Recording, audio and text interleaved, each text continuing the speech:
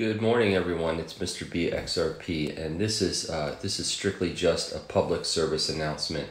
It has been brought to my attention that there is a fake email going out to some of my YouTube subscribers about a three percent daily ROI program that's meant to look like I sent it.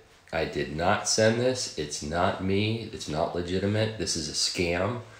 Do not ever respond to any emails of somebody saying they're me um, don't respond to anything that talks about investing. Don't respond to anything that talks about trading your crypto for my crypto or me giving you more crypto for your crypto. These are scams, people. You have to be careful. Just use your best judgment.